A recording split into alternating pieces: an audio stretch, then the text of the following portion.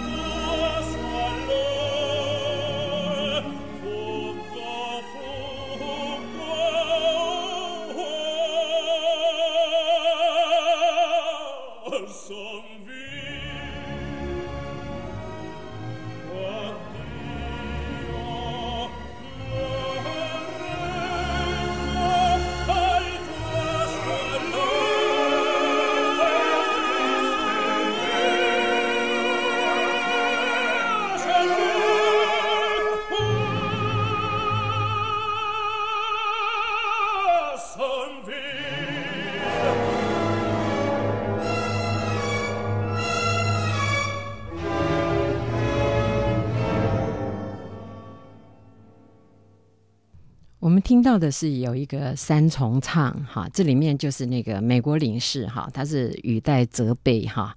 那么这个军官呢，他所唱出来的。嗯，当然是辩驳啦，哈。而后面有一段，就是从阿迪奥那那个地方，阿迪奥哈那边说别了，这个充满爱和鲜花的家，哈，我就要离开了，是很美的一段旋律，哈。这个旋律据说是后来普契尼才加上去的。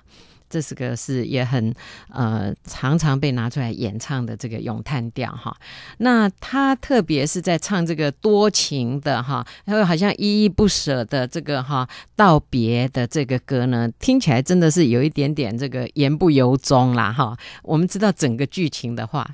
就会觉得，你如果只听这个曲子，还真是会被它融化掉。那可是呢，他竟然是这样无情的，就是要离开哈。他这一趟来呢，不但带着他的美国夫人呢，而且他来就是要把小孩子带走哈，就是要把九九赏生生的这个小孩子带走，而呃，九九赏。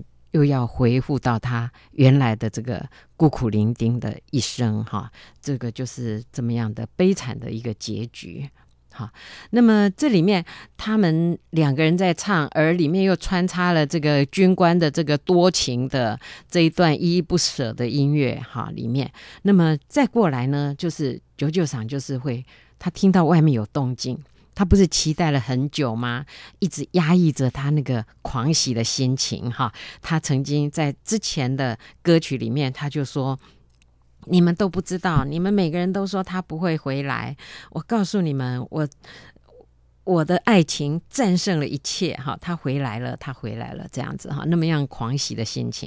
那么这个时候，他一出来呢，他看到了一个陌生的外国女女子，他终终于得知。”这是他的妻子，我完了哈。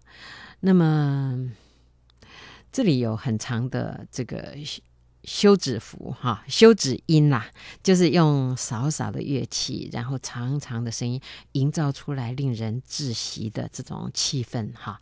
然后呢，嗯。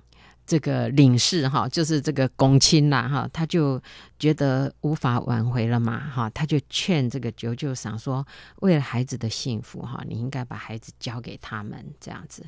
那这个时候，这种奉献牺牲的主题就出来了哈。他愿意牺牲他自己，所以呢，他就对这个美国太太唱出来，他说：“普天之下，再没有一个比你更幸福的女人了，你不必为我感伤。”哈，他然后他就进去了。那他跟客人们说。呃，待会儿他就会把小孩送下山，这样哈。事实上，他心里有什么打算呢？我想观众心里都都呃，你会跟着这个剧情，然后受到这个音乐的牵引哈，你就会完全沉浸入那个哈九九嗓的这个悲哀的心境里面哈。那最后呢，他就唱出那一段。哈，那个著名的就说“宁为玉碎，不为瓦全”哈，这个日本人的这个呃切腹自杀的这一种精神哈，因为九九赏最后就是拿出他父亲留下的这个刀哈，然后就呃自刎哈，然后这个去剧就是最后是这样子的一个结束哈，是一个悲剧。那么。有很多导演的手法不一样，如何处理最后的这个死亡的场景哈，有很多种。那么我不晓得澳洲这个歌剧院他们的这位导演哈，他的诠释是怎么样子的？总是哈，悲剧不会变成喜剧啦哈。那至于说他要如何安排场景哈，就有很多的呃不同的诠释法。我想我们下一段。再来，呃，一起来欣赏这个蝴蝶夫人哈最美的极致之美的呃这一段。好，待会儿再见。